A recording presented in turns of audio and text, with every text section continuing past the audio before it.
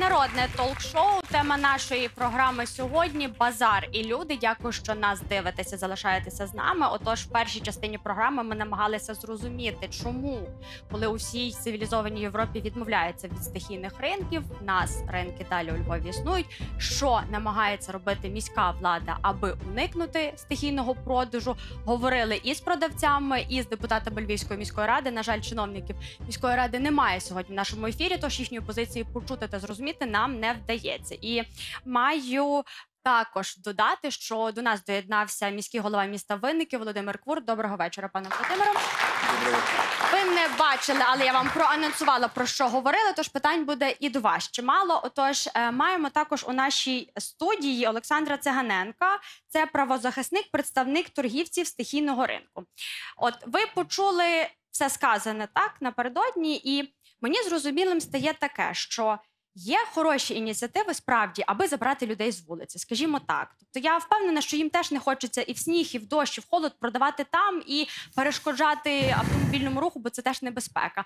Але попри те, я далі не можу зрозуміти, чому.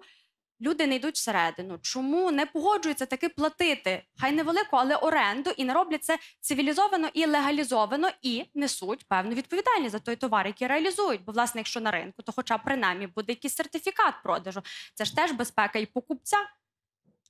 Е, е, Значить, я е, перше хочу подякувати всім за цікаві думки, пропозиції по вирішенню цього е, питання.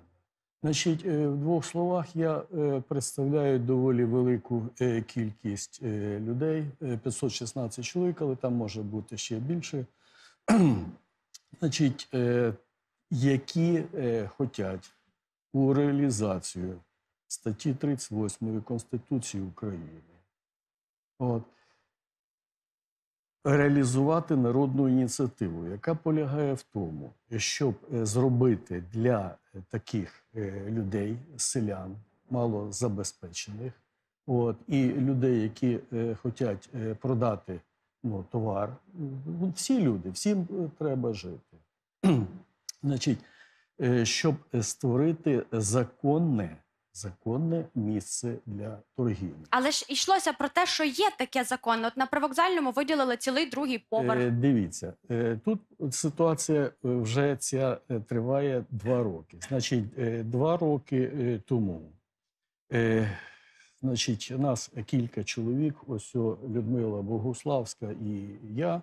От, потім до нас е, приєдналася ще е, ціла низка людей. Ми е, зібрали підписи. От цих 516 могли зібрати набагато більше. От. І е, люди доручили мені, е, щоб я відстояв їхнє це право, щоб влада почула і вирішила це От влада почула. питання. Це є соціальне питання. Це є соціальне Я погоджуюся абсолютно з вами, але є справді хороша ініціатива. Є місце не Так. на вулиці. Чому люди не погоджуються? От, от дивіться, я просто ж е, хочу, щоб е, люди зроз... ну, щоб е, всі зрозуміли. Просто От. мусимо точково концентровано говорити, бо ефірний час обмежений. Мусимо Я- дати слово всім і зрозуміти все. А ще тема мафів я- нас чекає. Тому давайте за- концентровано і точково. Я, я не, не заперечую. Значить, 20 липня відбулася е, наша розмова е, з паном Андрієм Садовим. Оце якраз те, що ви е, питали. Е, Ми якраз пройшли по території, і якраз е, питання цієї зустрічі було, е, чому люди не на ринку народу. У нас прямо ринок е, народний є. Ви зараз От, говорите і- про ринок на Сихові, так? А це ринок на Санта-Барбарі. Сихов. Так, це напередодні От. те, що казала І от- пані Галина. Напередодні виборів Так. Андрій Іванович спілкувався з продавцями. Так, так. Ми з паном Андрієм Івановичем спілкувалися. Він мене знає, ми не перший, як то кажуть, раз зустрічаємося. От. І якраз е, пан Андрій підняв оці питання, що, значить, ой, тут. Значить, чому е, люди е, хочуть е, торгувати так, як є? Значить, перше, специфіка товару. Вона Я відрізняється розумію, від погоджуюсь, товару. але давайте який- зрозуміємо. Ви ж от спілкуєтесь з людьми. Дайте мені пояснення, чому не погоджуються йти всередину? От, от тепер я якраз все це одне з одним. Просто тут ці, ціла низка питань. От, значить, дивіться. перше, цей товар, е, який привозить бабуся, він має бути реалізований в один день. В один день. Це не товар, який на ринку, який у підприємця, от, який може Тобто ви хочете сказати, що так на хіднику вона реалізує Значить, його швидше, аніж там всередині? Е, цей товар, е, от дивіться, бабуся привезла молоко. Якщо вона його сьогодні, е, от я зранку розумію, а я вас питаю, що вона там його швидше продасть, аніж всередині? е, обов'язково. От. Тому що після Добре, але ж і всередині цей- продають те ж саме молоко і ту ж сметану. Тоді це виходить нечесно по відношенню до тих продавців, які платять оренду, є всередині і теж продають молоко. Тепер дивіться, яка ситуація. Хто продає молоко всередині? Фермерське молоко продається всередині. Переважно. Може, там десь Ні. якісь виключення Ну, є. насправді погодьтесь, це важко встановити, Значить, тому що ми не я- лабораторії не знаємо, яке там, а яке там. І теж не знаємо, я не- яке в той бабусі, яка на хіднику, якої дати в неї те молоко, бо там немає стікеру. Ну, дивіться, я Ти хіба не- вірите на я слово? Не, на- я не нав'язую своєї думки, я просто кажу те, з чим я стикаюсь конкретно на Санта-Барбарі. Оце є така проблема. Далі. Значить, е, ринки побудовані не здало. Значить, е, та бабуся, я також дивувався. е, Зима, люди стоять е, на снігу під відкритим небом, дощ і таке інше. От. Значить, іди, ідіть на ринок. Значить, завдяки мені на ринку народному оголосили, що у них створено 35 робочих місць. Але то філька. Ну так, е, Так, по-моєму. я- Тому я так розумію, що так міський думаю, голова обіцяв створити базару 35, а є що створено таке 5, так? місць. От. Е, Нема, Е, народний не поміщає більше. Там він обмежений. Я не маю претензій до директора. Ну йому сказали, що треба. Він каже, 35 місць в мене створено. Я кажу, Але ж ми всі знаємо, що в нас не один народний є. Правильно ж? там, Можна там йти- ситуація полягає в чому? От стоїть народний і стоїть місце е, стихійної торгівлі. І ця ситуація, в принципі, що на е, привокзальному, що по Так, можливо, Львову. тим продавцям Тому- варто перебазуватися не про вокзальний, там, де є більше місць. Е, дивіться, е, чому е, біля привокзального, от ми бачимо, дивіться, чому люди стоять там, а не там. Вони що, дурні? От, людина йде туди, де є оптимальні належні умови Але для це не належні умови на хіднику. От, от, Під дощем і під снігом це зовсім не належні. Значить- Без жодних сертифікатів якості. Це Е, не належна умова. Я з, ва- для я з вами згідний. І в цьому відношенні ми якраз е, за те, щоб, е, наприклад, е, узаконити, тобто е, землю створити, як це має бути по закону, от, і всі ці вимоги витримати. Тому що, е, наприклад, е, у нас на, на Санта-Барбарі е, ну, нам не складно сказати, якщо людина порушує десь е, щось поклала чи щось, щось таке, ми кажемо людині. У нас взагалі Пане на але Санта-Барбарі давайте була дивитися правді дуже у вічі. Кожен, хто продає не встановленому місці продажу, він апріорі порушує закон України. Е, Ну, Тут нікуди діватися. У нас є певні визначені місця продажу, є невизначені. Якщо ти торгуєш в невизначеному, ти однозначно порушуєш. Правильно, правильно, правильно. І, і про це, до речі, кожна людина У нас є юрист у студії. От, Але е, я хотів ще е, до- два слова. Мусимо, задали мусимо перекинути запитання. юристу, бо хочу Як почути скажете. оцінку також юриста. Андрій Мицик в нашій студії. Доброго дня.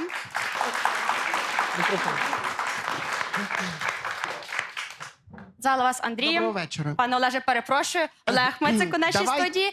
А, в мене є до вас одне питання. От е, я дуже цікаву думку почула. Люди не дурні. Ну насправді не дурні, але ми ж розуміємо, що більшість стихійних продавців вони не мають оформленого ФОПа, вони навіть не мають приватного підприємця, ба більше вони не мають ні дозволу, ні ліцензії на продаж. То якось просто дивно мені і незрозуміло виходить. Ми з одного боку вимагаємо від держави. Умов для роботи, але натомість ми щодня дуримо ту саму державу.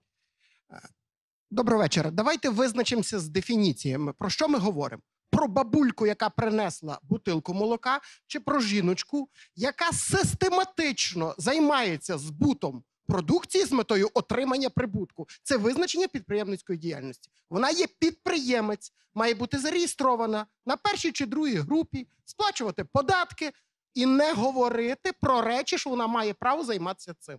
Я говорю як юрист, я нікому не співчуваю тут. Тобто Так відкидаємо само- емоції, говоримо фактами, Ну, правильно? безперечно, я люблю тільки про це говорити. Друге питання: ми говоримо про стихійні ринки. В законодавстві немає визначення стихійного ринку. В нас є відповідальність за два види: торгівлю в містах з рук. В невстановлених місцях парки, сквери, траляля вулиці, і торгівлю в невстановлених місцях промисловими товарами. Чомусь другий вид штраф в п'ять разів вищий, ніж за перший. Не зрозуміло чому, але це відрижка радянського законодавства. Дуже багато, до речі, в КОАПі це залишилось. Я абсолютно погоджуюся з Петром Адамиком в тій частині, що скільки б ми не зробили рядів, обов'язково людина стане з краю, тому що вона перша в найдоступнішому місці, і їй за це ніколи нічого не буває. Великий українець Микола Гоголь сказав: постав хоч плота, хоч пам'ятник, хоч метр е, стовпа, але обов'язково привезу туди 100 фір сміття. Він сказав це про країну за поребриком в мертвих душах, але воно стосується оцього принципу. Що би ми не зробили, обов'язково знайдеться людина, яка відхилиться від цих правил. І тут головне правове регулювання і відповідальність, яка наступає за це порушення. Говорячи про правове регулювання, ми знаємо першу поправку до української конституції. Суровість українських законів компенсовується відсутністю обов'язку їх виконувати. Нас українці вважають, що це не треба виконувати до тих пір, поки вони не відчувають цієї відповідальності. Говоримо про мізерну, нікчемну відповідальність, передбачену за статті 160. Ваш е, журналіст помилився, нема 1700 гривень. Відповідальність від одного неподаткованого мінімума до семи, тобто від 17 до 102 чи 120 гривень відповідальності. Ви розумієте, папір є дорожчим, чим оця процедура притягнення. Більше того, чому в нас не можуть притягнути до відповідальності? А ось оце, до речі, цікавий момент. Якщо я правильно розумію, так е, муніципали уповноважені складати протоколи, але є повідомлення навіть е, очільника і муніципалів, і охорони міста про те, що вони без представників районних адміністрацій не мають права складати протоколи. Вилучати товар можуть лише патрульні. Тобто, якщо я так розумію, якщо муніципал іде не по під руку з представником е, районної адміністрації, під іншу руку, в нього немає патрульного. Він що там безпорадний? Тобто він може просто сказати відійдіть? Ви знаєте, велика фракція була від Львова, самопомочі в Верховній Раді, ніхто не вніс змін до цього. Дивіться, яка річ. Право на адмінпротоколи складати по статті 160 мають три види: уповноважені працівники національної поліції, ну це дільничі патрульні, це представники, давайте зацитую, посадові особи, уповноважені на те виконавчими комітетами. Ну, це райдержадміністрації і члени громадського формування з охорони громадського порядку державного кордону. Незрозуміло, хто це. Пістолети получають травматику, а хто ці люди, ми не знаємо. Хто вони? Відповідно, тут немає цього підрозділу е, муніципальної поліції. Можливо, її прирівняли. Я не готовий, не фахівець в цих деталях до кінця, до котрої з цих категорій, але я далекий від цього, що вбачається і навіть з цих пояснень. Так от особливість. Працівникам поліції це не цікаво. Якщо в них є компанейщина з цього приводу, тобто вказівка, вони це складають. На це затрачається море часу. Я почув цифру 4 мільйони гривень на отримання е, муніципальної дружини. А давайте я вам назву Пане Олеже, Я перепрошую, е, появився е, звук. Е, За 18 і 19 рік суди Львова, я спеціально зробив зріз по державному реєстру судових рішень, розглянули рівно 2000 адміністративних протоколів по статті 160. Ви знаєте, скільки з них притягнули до відповідальності? 3% 60 людей. 93% протоколів повернули органам їх склали на доопрацювання. І 2% людей звільнили від відповідальності за уваженням.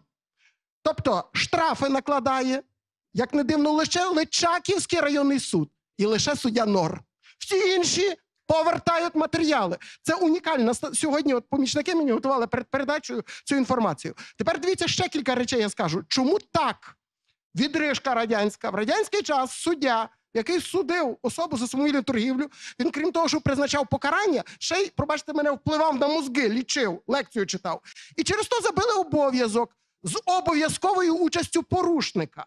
Тобто 130-ту алкоголь можна без порушника, а порушення правил торгівлі не можна. Пане Олеже, Порушники мусите не являються. завершувати. Мусите завершувати. І немає результатів.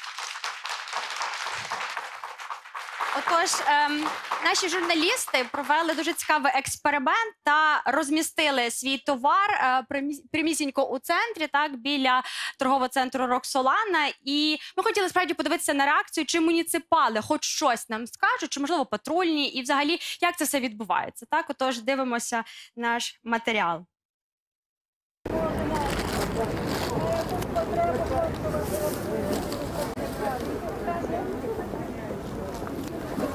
Зараз будеш довго стояти там через дорогу, десь на якусь вулицю стане. Базар до вечора не продаш.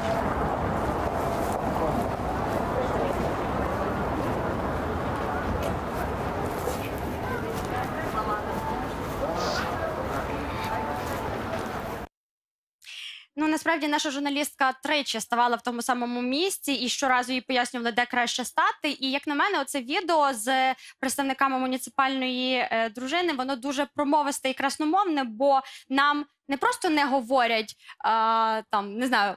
Не продавайте, ми випишемо вам штраф, так чи адмінпротокол. Відійдіть, заберіть, їдьте додому. Нам просто кажуть змінити локацію і змінити локацію через дорогу. Тобто, абсолютно не вирішується питання стихійної торгівлі. Тоді в мене виникає наступне логічне запитання: якщо муніципальна варта, дружина, як вони себе іменують, без районної адміністрації чи без патрульних абсолютно безпорадна і не може протидіяти стихійній торгівлі, то для чого щодня оці хлопці і дівчата отримують гроші за те, що вони там мігрують між курей і між е, не знаю капусти, пане Андріяне? ще раз трошки відійдемо від базару і, людей, тому що ну і все-таки мізки ну важко їм повернутися назад до мафів і до торгівлі хаотичної, яка відбувається на вулицях Львова. Зараз, користуючись нагодою, маючи таку можливість, і знаю, що і багато киян також нас зараз дивляться, тому що багато моїх побратимів, е, які є членами партії Всеукраїнського об'єднання Свобода, зараз зі всіх куточків України їдуть до Києва. І я би хотів закликати киян виходити на вулицю, іти в сторону вулиці Банкової під офіс, так званий офіс, тому що вони на роверах обіцяли, що вони звітам переїдуть, бо надто великі хороми мав попередній президент. І їм здалося, що їм достатньо буде десь наметів в іншій стороні, але поки що вони засіли там. Щоб люди виходили, і просто щоб виходив, напевно, президент до них і пояснював, що це за формула, що сьогодні підписав український уряд. Це формула Штайнмаєра, Путіна, тому що як багато зараз пишуть, взагалі такої Пане формули не почули існує. вас наші глядачі. Кияни, закликаю вас, ідіть на вулицю Банкову в Києві. А зараз, якщо повернутись, Але коротко, бо мусимо передавати слово. якщо повернутись назад до базару і люди і у Львові, от е, пан Петро Адамик говорив, що в нас є хороший ринок шувар. Я погоджуюсь. Один з найбільших східній Європі. Дуже багато там є правильно. Така коротенька реклама шувар. Насправді багато там зроблена. Він приватний ринок, але туди не може поїхати бабуся, яка їде зі сторони Личаківської, з винних з цієї траси. Бабуся, яка ну ще з зеленої буде зручно. Так як ви говорите, що їдуть з ваших напрямків до вас на ринок, і цю немалу заробітну плату близько 4 мільйонів гривень місяць, що отримують муніципали, які бабусям говорять, на яку сторону вулиці їм краще перейти. То якщо за один місяць ми зробимо в районі Личаківської невеликий базар сільськогосподарський санста- санепідемологічною станцією перевірки тих продуктів, які з цього напрямку завозять люди, замість тих 4 мільйонів гривень наступний місяць ми зробимо в напрямку з іншої, які заїжджають з Биранки, так як ви говорили, чи з інших районів. Ми за півроку зробимо 5-6 сільськогосподарських ринків і не викидаючи гроші на вітер на оплату муніципалам 4 мільйони гривень е, в місяць.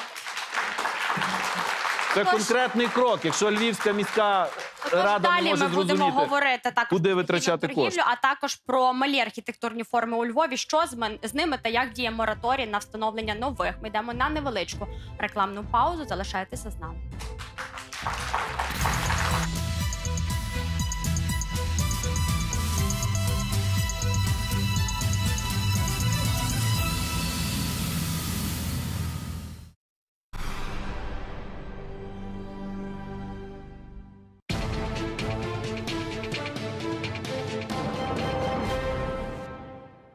Ліквідовувати чи створювати належні умови для вуличної торгівлі. Львів'яни розповіли спеціально для народного толк-шоу у проєкті Скажи правду вголос. Взагалі, я думаю, що це небезпечно, бо е, не завжди це зберігається в належних умовах.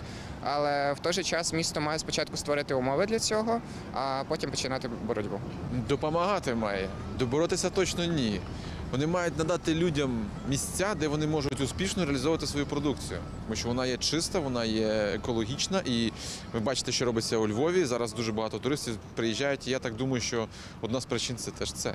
Я би хотіла дати пораду, гарно пояснити людям, як би це краще виглядало, щоб не робити стихійні оці ринки, або зменшити платню оренди за місце на фактично створеному базарі, місці, відведеному для торгівлі.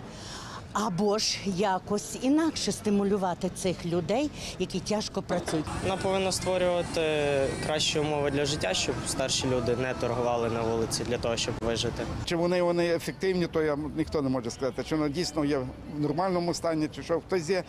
Зараз немає санстанції нормальної, ніхто не перевіряє. Всі перевірки, хто був, хто що де звідки привіз, так і торгують. Ну, анти, сказати, антисанітарія в нас така. Треба створювати умови, щоб то не було на вулиці, так як за кордоном. Всюди виділені місця. Хоч там теж торгують на вулиці, але там мають відведені місця спеціальні для того. Відведена вода, все, санітарія. Так нас треба робити, але в нас хто тим цікавиться.